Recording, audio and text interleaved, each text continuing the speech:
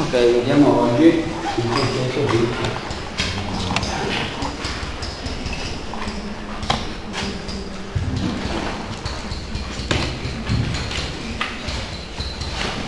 abbiamo visto l'integrale indefinito, vediamo quello definito.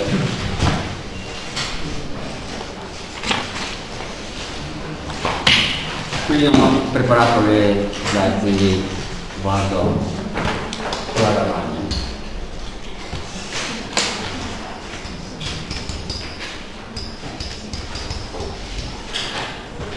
Le motivazioni per utilizzare e affrontare questo problema sono tantissime. Diciamo che la più semplice è la seguente. Può essere necessario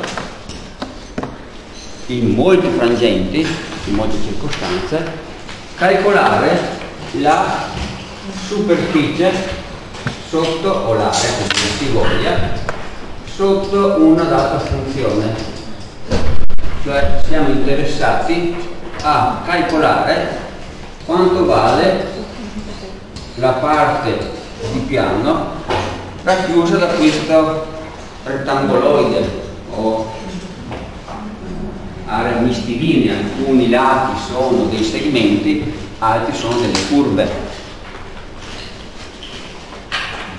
Questo tipo di problema, che si incontra, ripeto, molto spesso, conduce al concetto di integrale definito, che è un numero interpretabile come un'area, chiamiamola A.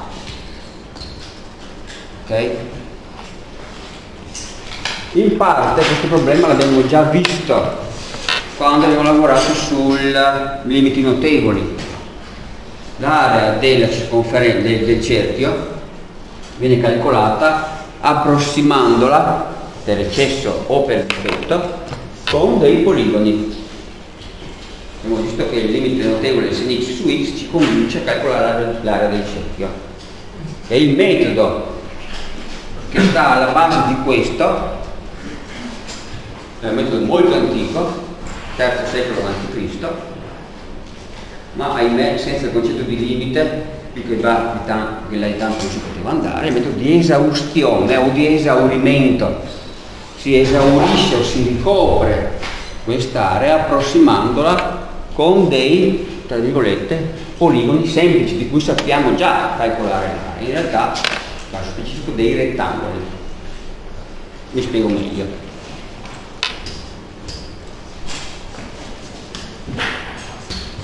Vi faccio il disegno. Supponiamo di avere a che fare con questa funzione. Okay? Qui ho A e qui ho B.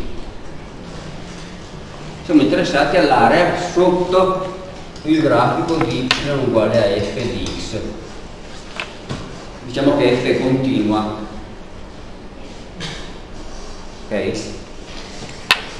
Allora supponiamo di calcolarla mediante approssimazioni successive. In che modo? Beh, suddividiamo la base di questa figura mista, quindi segmento AB, in tante parti. Ok? N parti.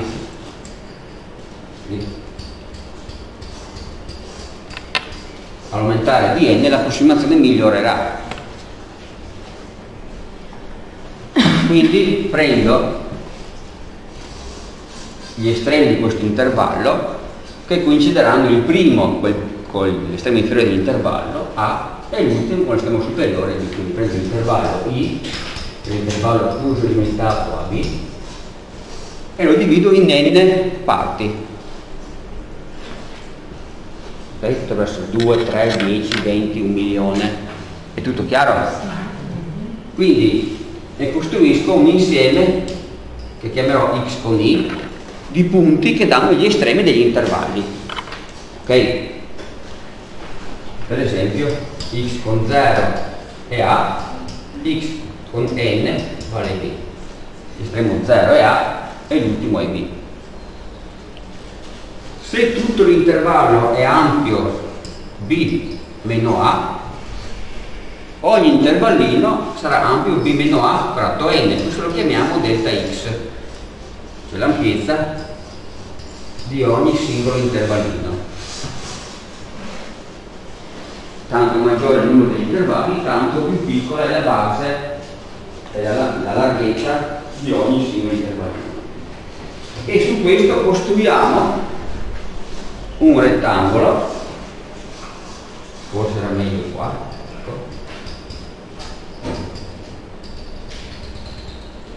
su ognuno di questi costruisco un rettangolo che interseca la funzione okay, in questo intervallino delta x prendo il valore minimo che ha la funzione lì dentro. Non so se riuscite a vederlo. Questo è m con i cioè il minimo della funzione nell'intervallo che mi interessa. Nel primo avrà un valore nel secondo ne avrà un altro e via dicendo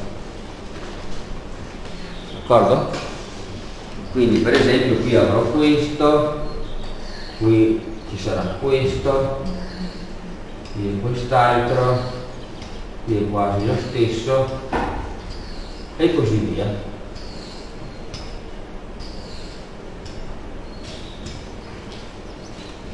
e quindi in giallo qui ho l'area posso calcolare l'area di questo rettangolino che ha come base l'ampiezza delta x che è b meno a fratto n e come altezza il minimo della funzione in quel punto so che c'è il minimo perché? perché la funzione è continua in un intervallo chiuso e limitato quindi ammette sicuramente il minimo e il massimo so che quello esiste ok?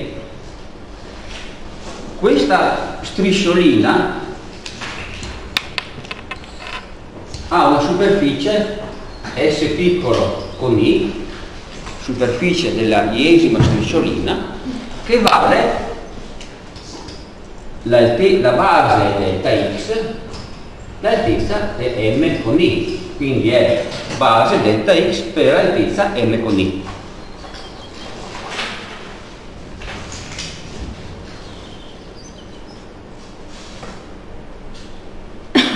Tutto chiaro? Quindi ripeto però adesso ho bisogno di un altro foglio. Fatemi ripetere. Prendiamo in considerazione l'intervallo coperto dalla zona che ci interessa quindi ci interessa calcolare l'area lo dividiamo in tante piccole parti e approssimiamo la nostra superficie come tante striscioline fatte da rettangoli. Tanto maggiore il numero dei rettangoli tanto migliore sarà l'approssimazione ok? E chiamiamo S piccolo con I l'area di ogni singola strisciolina. Certamente non saranno tutte la stessa, no? saranno striscioline diverse, avranno aree diverse, che è data dalla base delta x per l'ordinata che è il minimo della funzione nel punto dell'intervallo i. i è un numero d'ordine, se i è 1 è il primo intervallo, se i 2 è il secondo intervallo, se 3 è il terzo intervallo e via dicendo fino all'ultimo. D'accordo? Eventualmente possiamo anche indicare n con i come, sempre conseguenza del teorema sulle funzioni continue, il valore della funzione in un particolare punto, nel punto di minimo dell'intervallo i.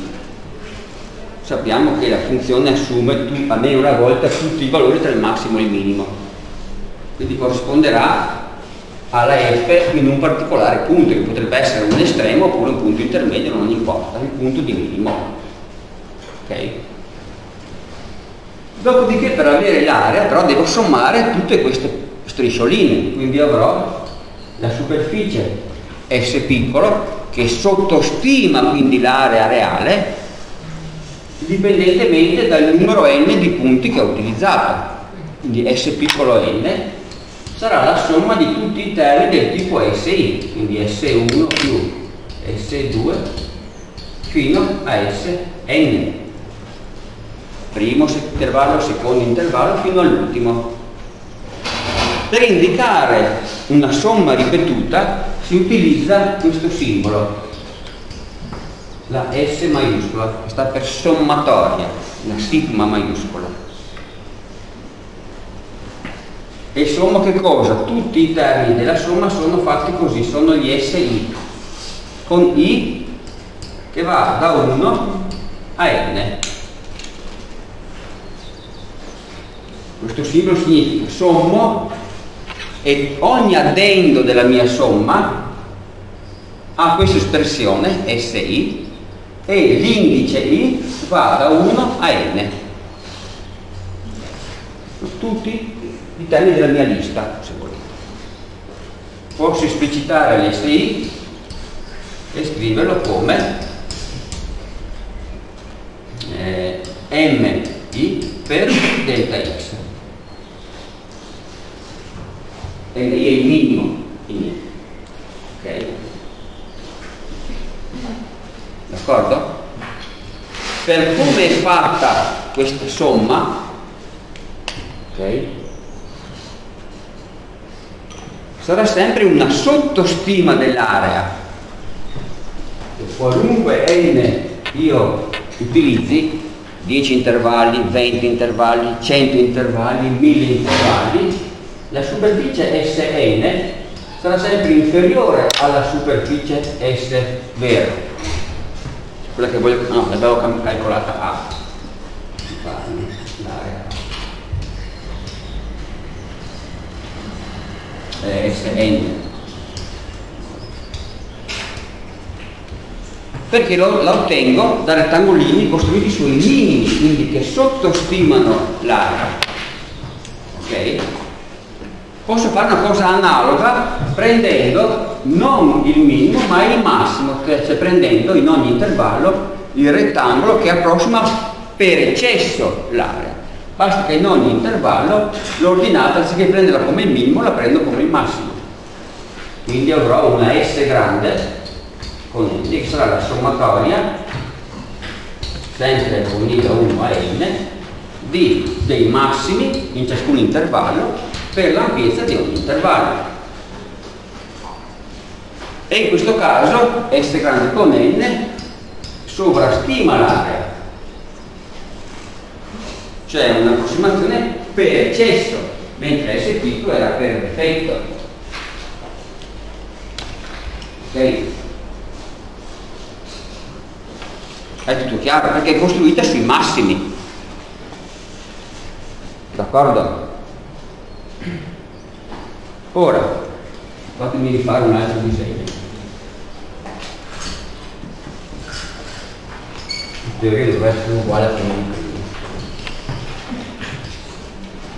Se io prendessi un solo intervallo,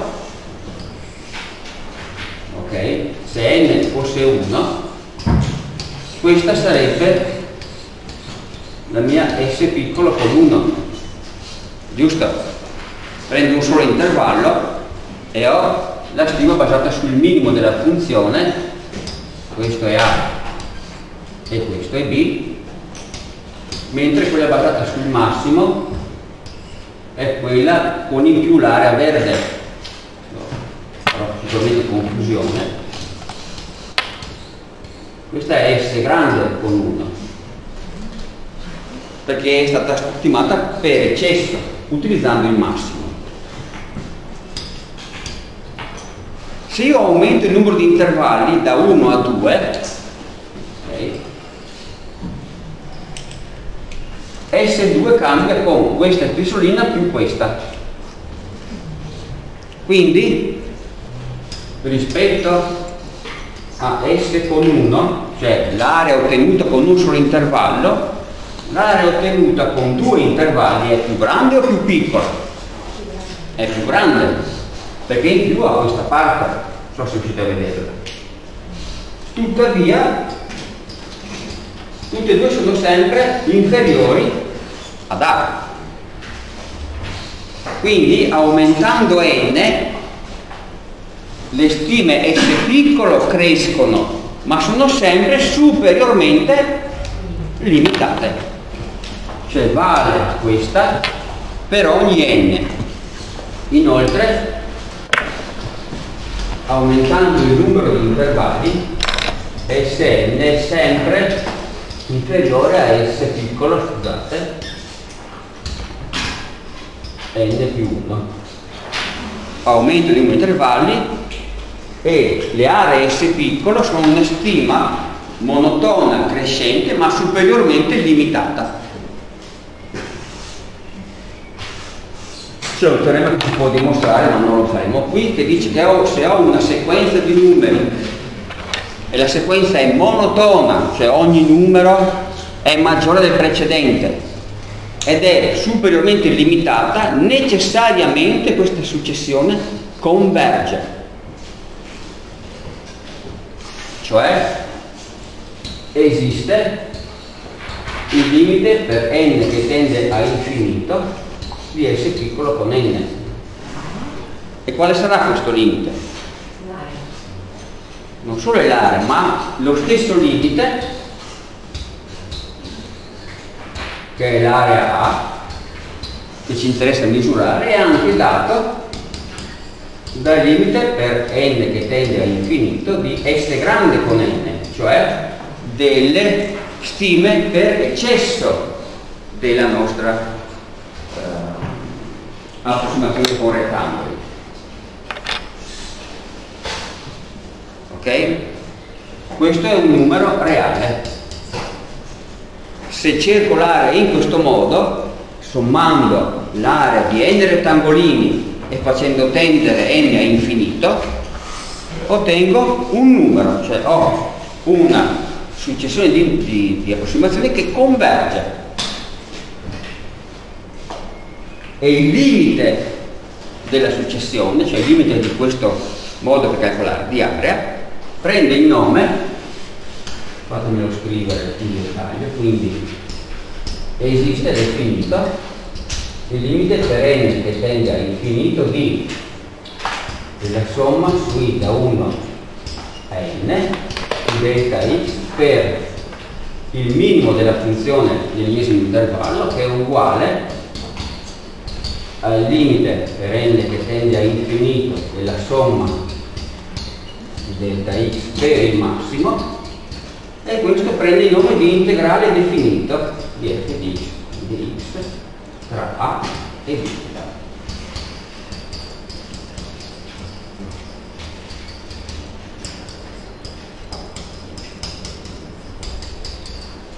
Attenzione, adesso sulla S di integrazione ci sono i due estremi di integrazione, cioè calcolare tra A e B. In questo senso del tipo integrale indefinito era privo di estremi.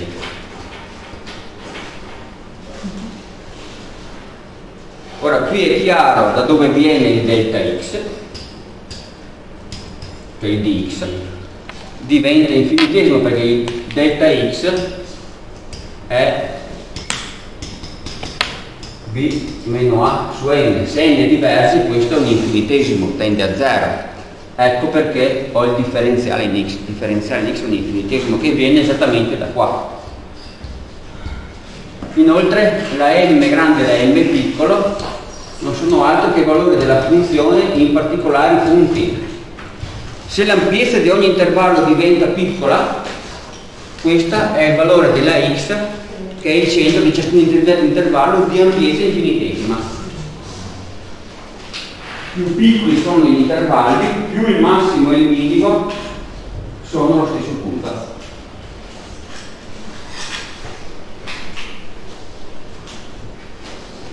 Questo numero, questo limite, attenzione l'integrale definito è un numero, prende il nome, questo limite prende il nome di integrale definito della funzione f di x in dx tra a e b e potete immaginarlo come l'area della funzione.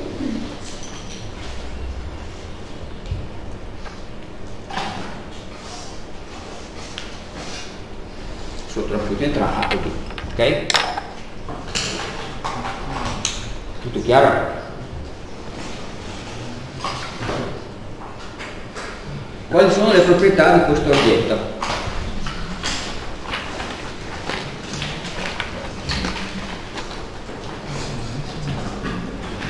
Lo fatemelo riscrivere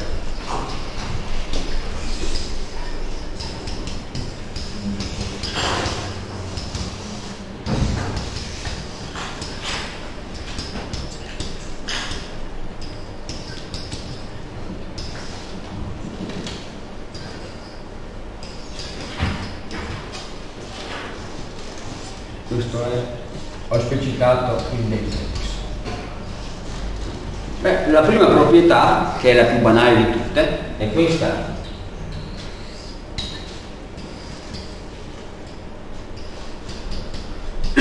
Se gli estremi di integrazione coincidono,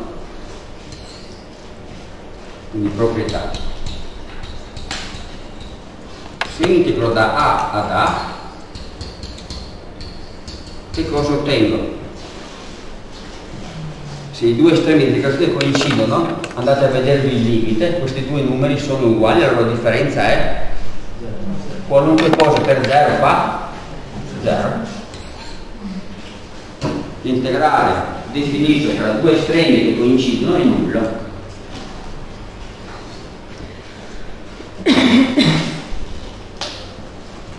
Ok? Non solo, prima proprietà.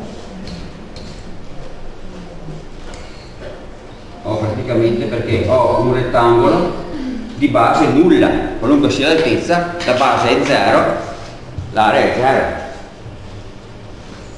Ok?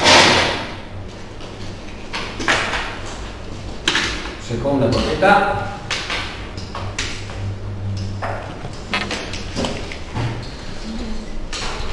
Abbiamo calcolato l'area integrando da A a B quindi ho B meno A. Se inverto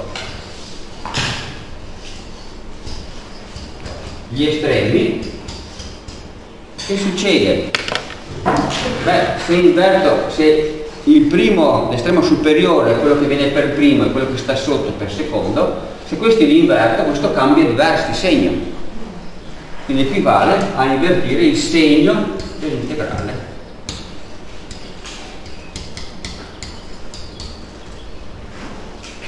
cambiare gli estremi di integrazione significa cambiare il segno del risultato. Quindi attenzione, l'integrale definito è sì interpretabile come un'area, ma l'integrale definito ha un suo segno, può essere negativo.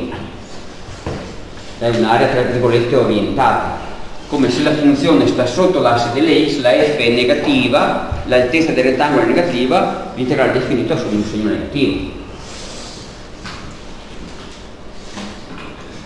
Ok? Cambiare gli estremi cambia di segno. Terza proprietà,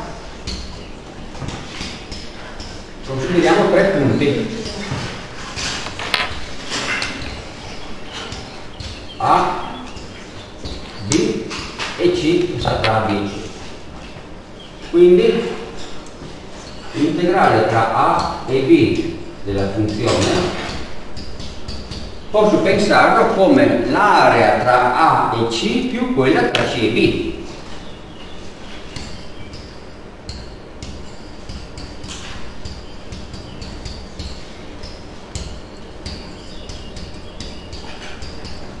Posso spezzare l'intervallo di integrazione in due parti, due o più parti.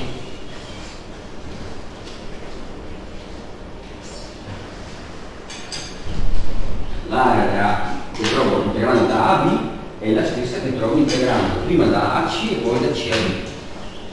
Attenzione, questo è vero non solo se C sta tra A e B, eh, anche se C sta fuori, che se vado da A a C e poi torno indietro, l'area tornando indietro è negativa.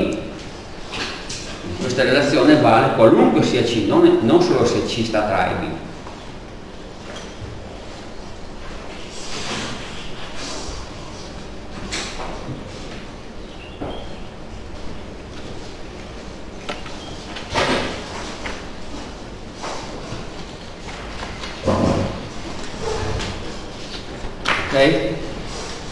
Tutto chiaro?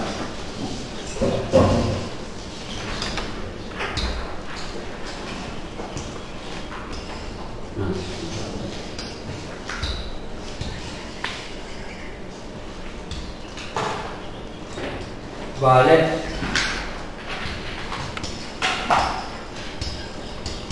proprietà analoga, del tutto analoga, anche se questo sarà più chiaro tra un attimo, alla proprietà dell'integrale indefinito e anche questo è un operatore lineare. Se integro k volte una funzione è come fare k volte l'integrale della funzione stessa tra gli stessi limiti ovviamente. E l'integrale di due funzioni tra gli stessi limiti f di x più g di x è come fare la somma dei due integrali tra gli stessi limiti.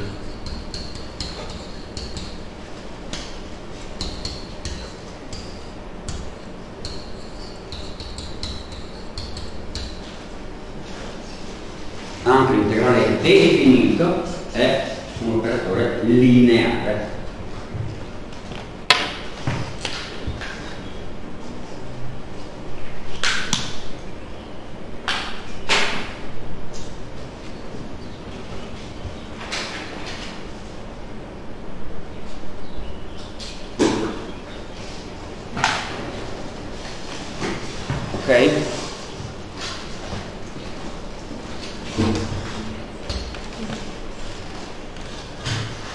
Proprietà, alcune le vedremo un poco più avanti, questa ve l'anticipo che mi serve subito.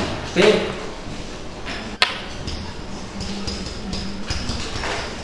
se la funzione che devo integrare una costante.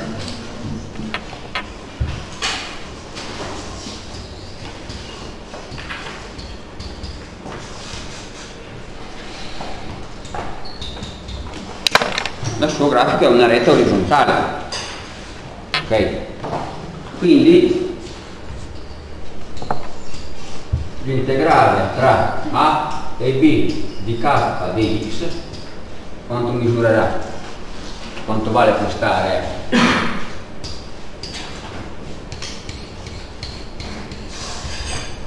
se la funzione è costante ho un vero e proprio rettangolo base per altezza k volte b meno a qualunque sia K.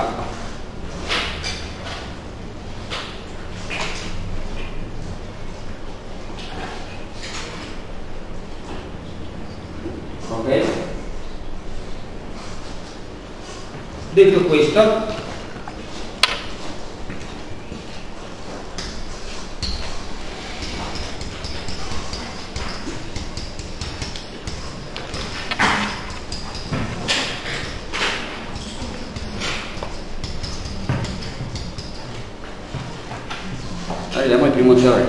valore medio abbiamo visto uno per il derivato ce n'è uno per gli integrali. Sia y uguale a f di x continua nell'intervallo chiuso e limitato a b f di x è una funzione continua in un intervallo chiuso e limitato. Ok? Allora,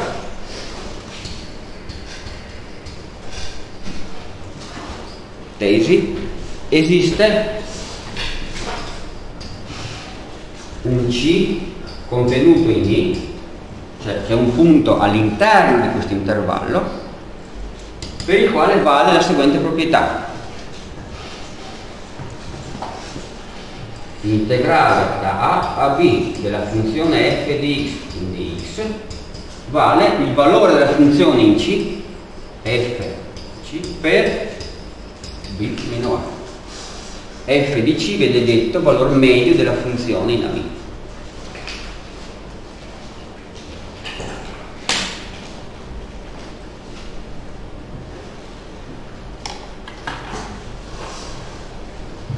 Dimostrazione.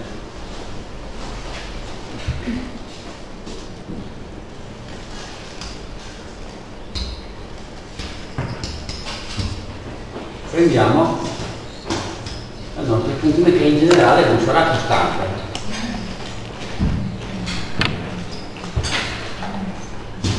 E quello sia AB. Siccome la funzione è continua in AB,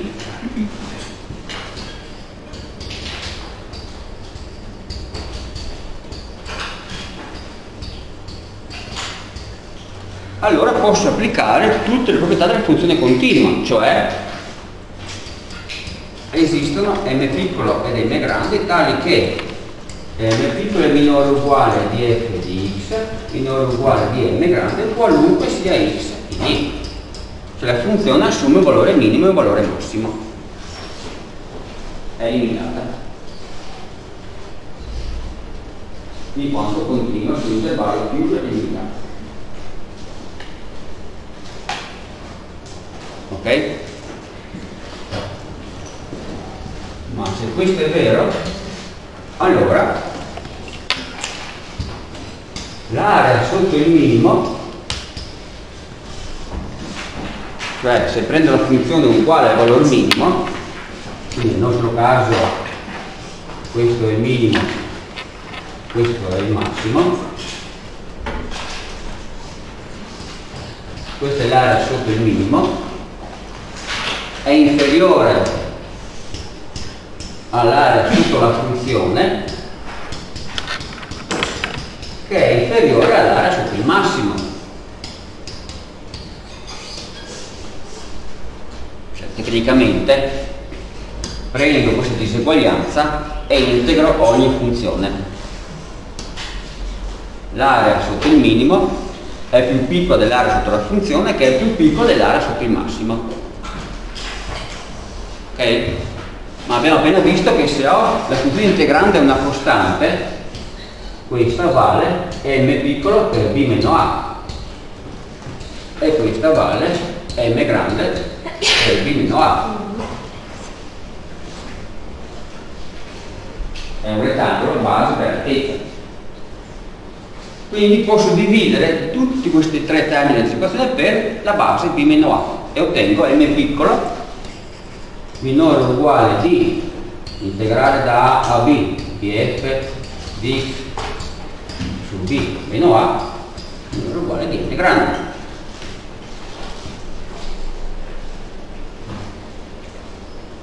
Quindi ciò che c'è in mezzo è un numero che sta tra il minimo e il massimo. Ma siccome la funzione è continua, assume almeno una volta tutti i valori tra il massimo e il minimo, compreso questo.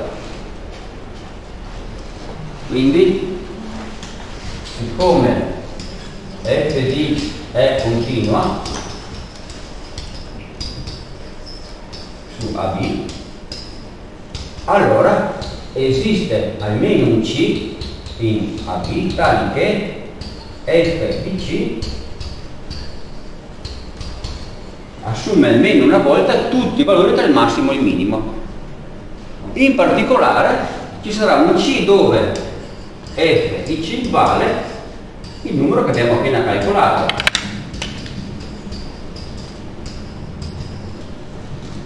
Perché anche quello sta tra il massimo e il minimo. È sufficiente moltiplicare per b meno a e abbiamo la testa. Integrale da a a b f di x in dx vale f di c per b meno a.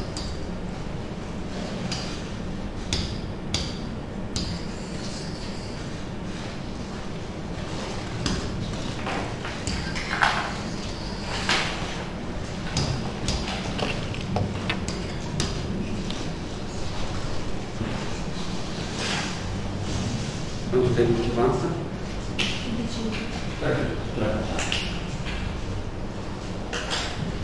Torniamo nella media. Ok?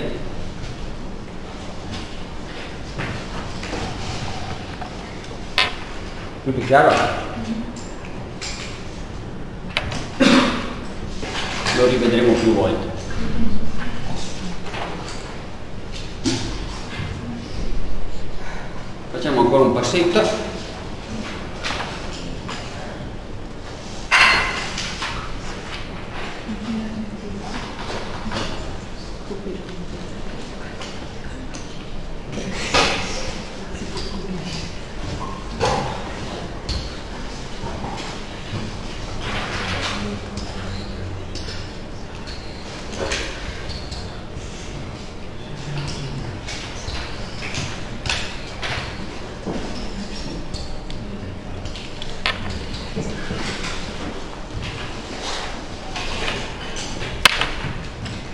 Consideriamo la funzione f piccolo di x tra e b continua e prendiamo la parte di area compresa tra A e X, questa.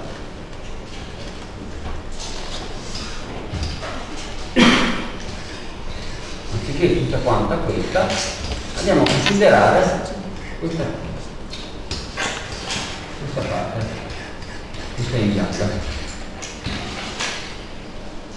cioè l'integrale da a a x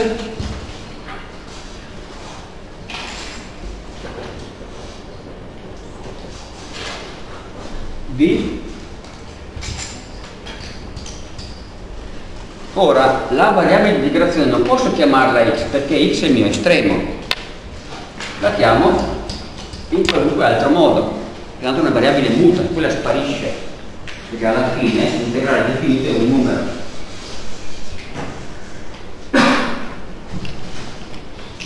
Okay? Integro la funzione f che è la stessa, che è questa, ma tra a e x. Questa funzione prende il nome di funzione integrale.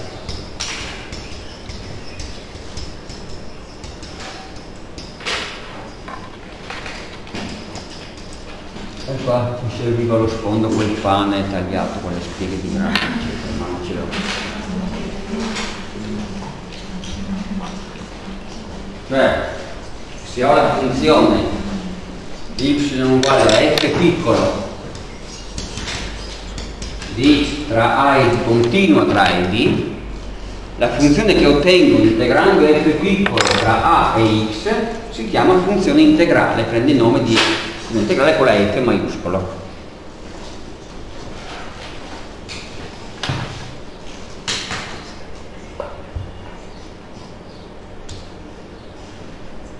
D'accordo? Vediamo se riusciamo a rinunciare al prossimo teorema.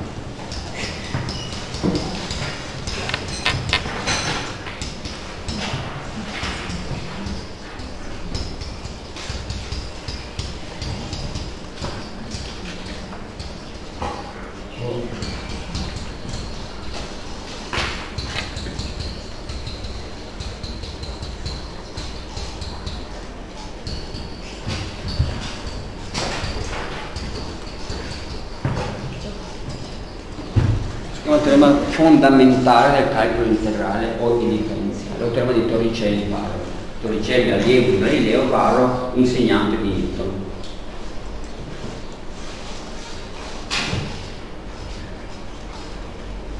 Prendiamoci la seguente cosa. Se y è uguale a f di x continua su intervallo AB, allora la funzione integrale f di x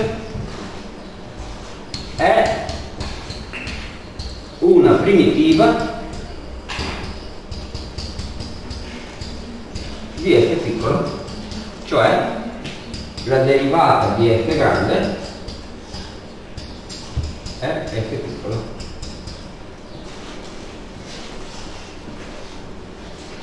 Se derivo l'area, ottengo la funzione sopra la quale c'è l'area.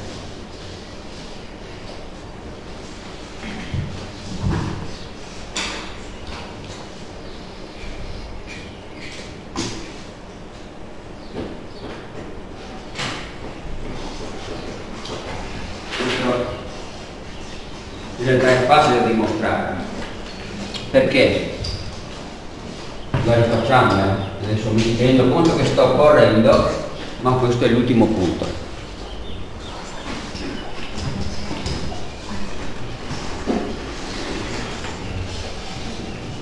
Calcoliamo la derivata.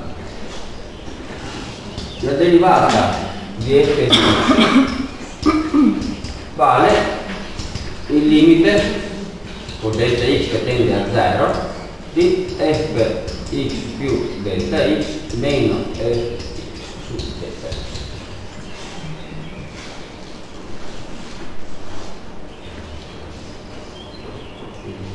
Oppure se preferite per non confondere col delta x di prima facciamo così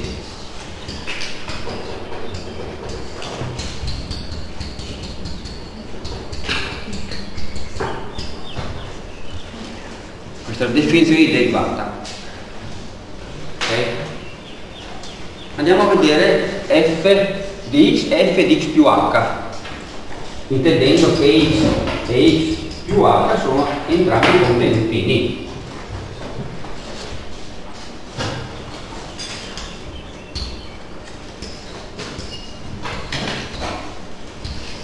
qui c'è A, qui c'è B, qui c'è X, qui c'è X più H.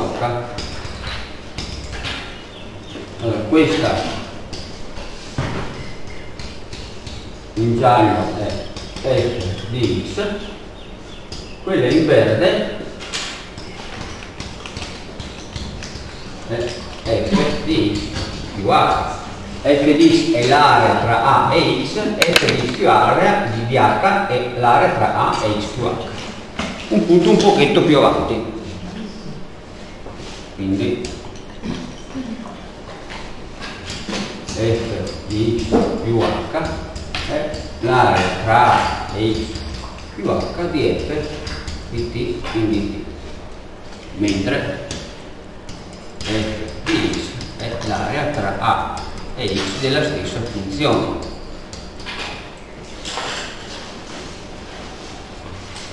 Se ne faccio la differenza,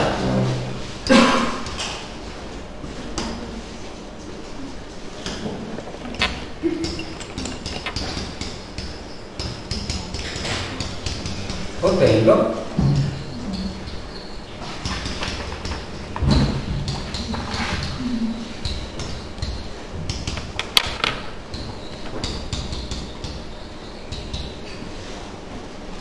non ho fatto altro che copiarle. Però questo meno posso utilizzarlo per scambiare i due termini di integrazione. Questo diventa da a a x più h f di più l'integrale tra x e a di f di t di t. Ma se ricordate una delle proprietà viste dell'integrale, la somma dell'integrale da a a x più h e da x ad a, l'estremo del primo integrale e l'estremo superiore del secondo, questo vale integrale da x a x più h di f di t di t. Geometricamente l'area verde meno l'area gialla è l'area tra queste due fettine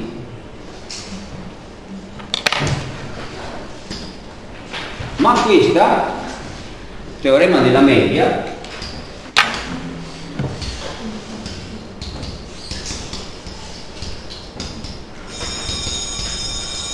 è f di c per h. Dove c è dentro? X con 0 x e x più h. Se divido questo per h i due h vanno via e se h tende a 0 c tende a x. E quindi la derivata di f di x è uguale a f. Lo rifacciamo, sicuramente. Grazie per la pazienza, ci vediamo prossimamente.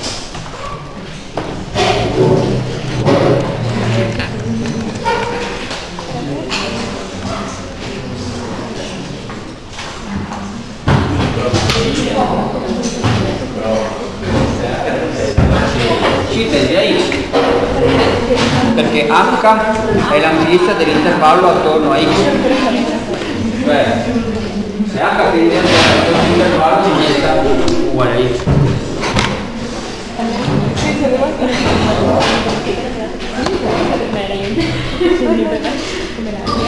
No, no.